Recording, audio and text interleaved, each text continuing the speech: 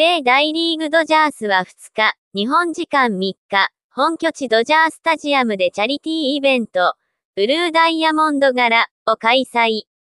大谷翔平投手も登場し、妻、マミコさんとの2ショットも実現した。イベント中、大谷がマミコさんの手を取り、階段を降りるシーンも。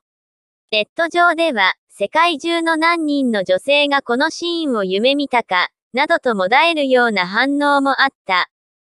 夫としてエスコートした。白いシャツに黒いジャケットとパンツを合わせたシックな装いの大谷。同じくブラックの衣装のマミコさんの手を取り、階段を降りる場面に注目が集まった。優しい気遣いを見せた大谷はマミコさんの方を振り返るようにし、夫婦ともに笑みを浮かべた。このシーンが X への日本ファンの間ですぐさま拡散され、ドラマのワンシーンなのか、世界中の何人の女性がこのシーンを夢見たか。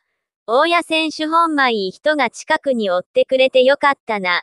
何回も言うけど二人ともお似合い。などとコメントが集まっていた。マミコさんはドジャース選手の妻たちとの記念写真も撮影。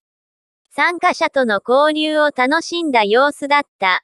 このイベントは選手が夫人やガールフレンドと参加するのが恒例。2019年にドジャースに所属していた前田健太も佐保夫人と共に出席していた。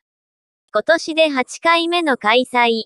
収益金はドジャース財団を通じて社会貢献活動に役立てられる。